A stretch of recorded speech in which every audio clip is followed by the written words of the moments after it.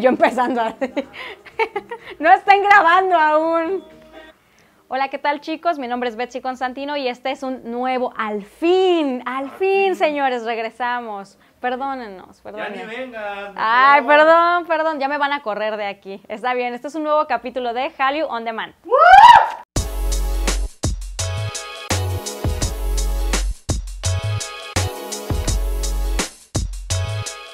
renovado un poquito nuestras secciones, hemos buscado nueva información, nuevos títulos. Como ustedes no nos escriben y no nos dicen qué quieren, algunos sí, pero, Pero no hemos pero no encontrado. hemos encontrado su película. Yo sigo, yo sigo pensando en, en nuestra querida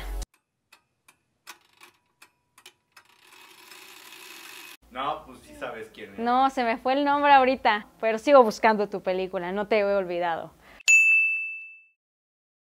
¿De qué vamos a hablar el día de hoy? De un drama que me mega encantó. Me encantó porque es meloso, como esos que me gustan a mí, ya saben, porque a mí me gusta el drama, me gusta que haya chicos guapos. Vamos a hablar de My ID is Gangnam Beauty, ¿ok? De este drama que está increíble, que tuvo bastante popularidad en Corea. De hecho, uno de los datos curiosos que fuimos encontrando es que comenzó con niveles de audiencia bajísimos y que conforme fue pasando el tiempo llegó hasta los 5.7 puntos de audiencia, o sea, un rating bastante alto para la población coreana y eso estuvo increíble. Y bueno, ¿de qué se trata My ID is Gangnam Beauty? Muchos de ustedes seguramente ya la vieron porque fue el, pues sí, el drama de novedad hace un año. ¿Y quién sale aquí? Pues sale nada más y nada menos que el guapísimo. Bueno, es que yo soy fan y además acuérdense que el equipo de Asia Stage es fan de Astro. Su nombre es Astro y es un cachorrito. ¿Ah?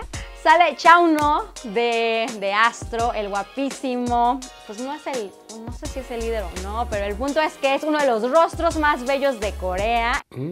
Y bueno, ¿qué pasa en este drama de Gangnam Beauty? Primero vamos a explicar qué es una Gangnam Beauty para dar un contexto. Es una expresión súper despectiva que utilizan en Corea para las chicas que están, bueno, que se han sometido a cirugías plásticas.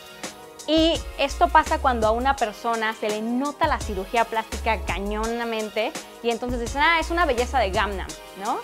Ya explicado esto, Entonces, tengo una boda. ¿qué, qué, qué, qué? Una Gangnam Beauty mexicana sería Lin May. Regresando a nuestro drama, que no sé, estoy, no estoy segura si Dan vio. Bueno, no lo vio. ¿Qué pasa? Kan Mire, así se llama la protagonista, es una chica pues buleada, súper maltratada desde la secundaria por no ser bonita. Así de simple. Es una historia en la que mucha gente se va a identificar, yo me identifico. Y entonces pues se pone de acuerdo con su mamá, van a que se haga una cirugía cuando ella sale de la preparatoria. Y pues la cambian, le cambian absolutamente todo a la mujer. Cara, cuerpo, todo. Y pues ahí es en donde empieza la historia.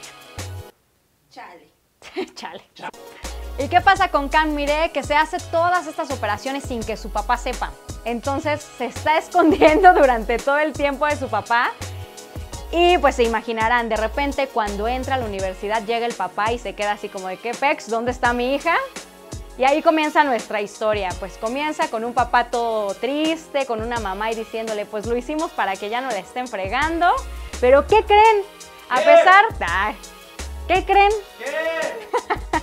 La vuelven a bulear, ¿por qué? Porque se convierte en una Gangnam Beauty, en una belleza de Gangnam, y ahora la están molestando, ¿por qué? Pues porque se le nota toda la cirugía. Qué tristeza. ¿Qué pasa en ese inter? Cuando ella llega, bueno, sí, la verdad se convierte en una belleza, todos los chicos están detrás de ella, y pues está Gyeon Sok, que es interpretado por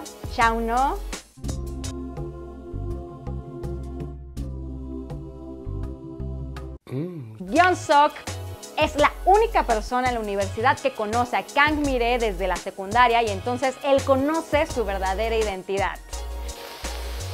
Vamos a hablar de ¿de qué? ¿De qué? De lo que nos gustó. ¡Eh! ¡Woo!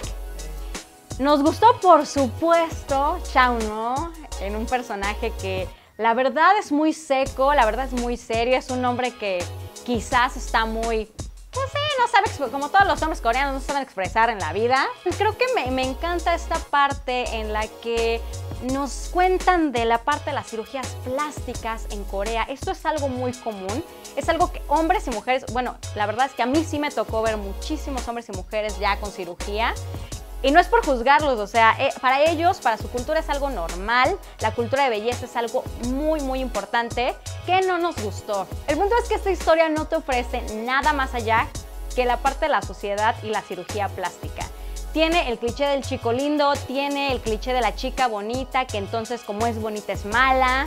Todos estos clichés de todos los dramas no nos ofrecen nada más que ello. Y además de eso, perdónenme si ustedes son fan de Im So Hyang, que es quien interpreta a Kang Mire, su actuación definitivamente no nos ofrece nada, no nos aporta nada. ¿Por qué? Porque ah, es demasiado sosa, me parece muy acartonada, me parece que o sea, obviamente como es una persona introvertida, tiene que ser así, pero de verdad te frustra tanto que de repente te dan ganas de gritarle, o sea, ya dale un beso, por Dios, ¿no? Está guapísimo, está ahí enfrente de ti con cara de baboso y entonces no hace nada, no hace nada, definitivamente nada.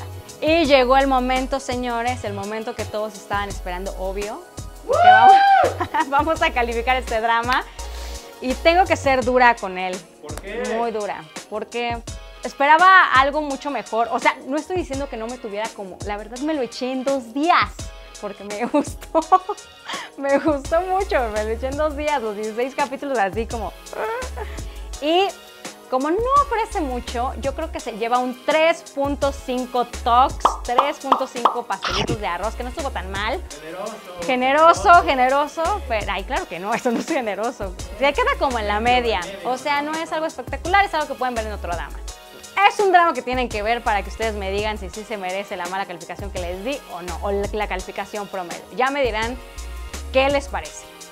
Y bueno, señores, con esto hemos llegado al final de este episodio de Hallyu on Demand de My ID is Gamnam Beauty.